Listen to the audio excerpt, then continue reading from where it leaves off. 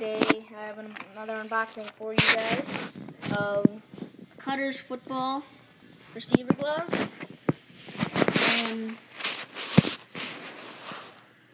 the gray color.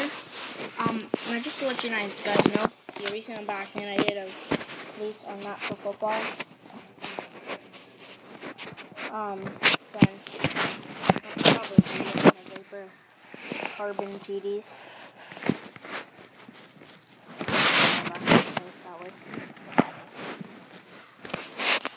Here they are. Tacky glove. See, it's gray here, gray here. Very tacky.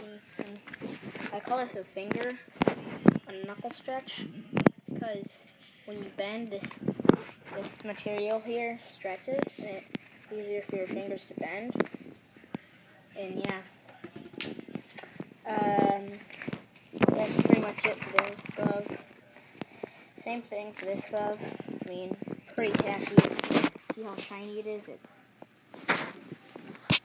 very tacky. Um, so yeah, that's pretty much it. Uh, thanks for watching, and bye-bye.